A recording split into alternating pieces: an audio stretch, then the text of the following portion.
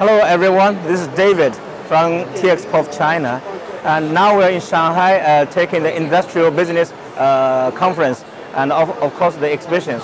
We are specialized in the plastic optical fiber cables and uh, we have been in this industry for over 10 years. We have uh, all the clients all around the world like in US or in Europe. Uh, our cables can be utilized in the uh, electrical cabinets, uh, solar panel, wind power, of course, and because it's lighting fiber and we also use it for the lighting decoration and also we have the clients in US like Disneyland and the global universe and uh, our fiber, the difference in the market is we use very specialized, actually from the import material for our cable. We have very uh, less attenuation in the transmission uh, purpose. So we can provide a very stable signal transform and transmission.